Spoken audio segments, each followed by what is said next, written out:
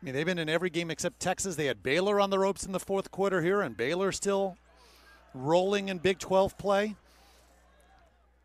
Limited offense to 128 total yards. You've done your job. As Perkins this time, hole up the middle.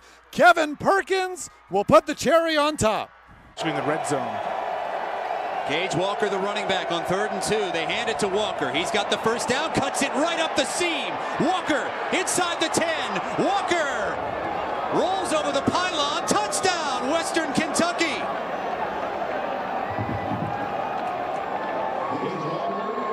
That bubble and get over the edge. And Gaej Walker is the man for that. The vision to cut back across the defense there. When you have defenders turning their back in the mid. Reynolds going to run it himself. He's got some room. Reynolds to the 10. Touchdown. 29 yards out. Chris Reynolds on the QB keeper. More explosive plays from Charlotte. They get a couple big plays, explosive plays in the running game. LeMay is successful. There's the play action fake.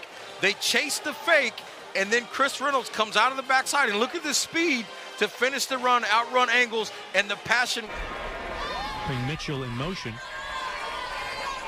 And they run the reverse to Antoine from Tronte. And here's D'Angelo Antoine with smooth sailing deep into the Norfolk Knights. Touchdown Owls.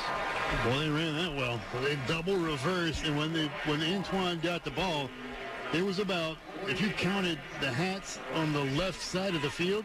D'Angelo Antoine, just look at the convoy of teammates. Look at, look at all the white shirts, and there's three blue shirts in front of him. And that tight three-point loss. Terrell West makes a tackler miss. Here goes West. Here's the sprint. No one's going to catch Terrell West. Touchdown, Middle Tennessee. The sprint for six.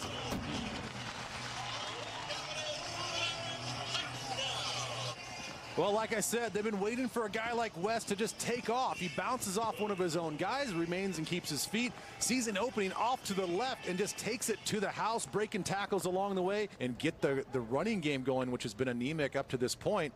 You better watch out for these guys. Here's McDonald. Jay McDonald with the sprint.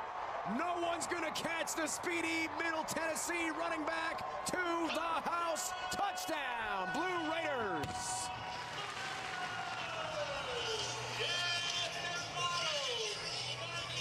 Ninety-two yards and an exclamation point on a fantastic day on the ground for Middle.